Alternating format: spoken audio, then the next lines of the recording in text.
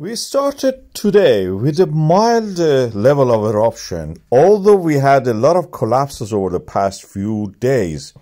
And these collapses create a platform, practically block the vent. And uh, it's like holding your hand, your finger against the hose, which when it is full of water. So you will have uh, big splashes out of that, big jet of the uh, water coming out of it. It's the same with the lava.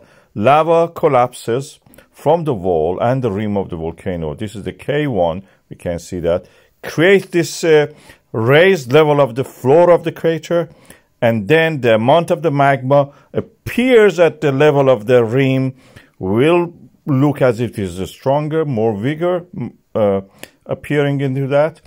And we have bigger splashes, jets of the lava spewing out like holding your finger against the hose.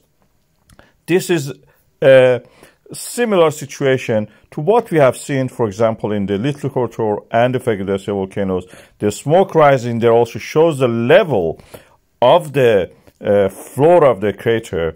At that level, we have a heated rim, and then from the below it, we have a lava tube forming and coming out. This is the moment that you can see how the collapses create this platform rise the level of the crater, creating jets of the material, smoke rising from the raised level when it is in contact with the rim, and it's just practically heating it up.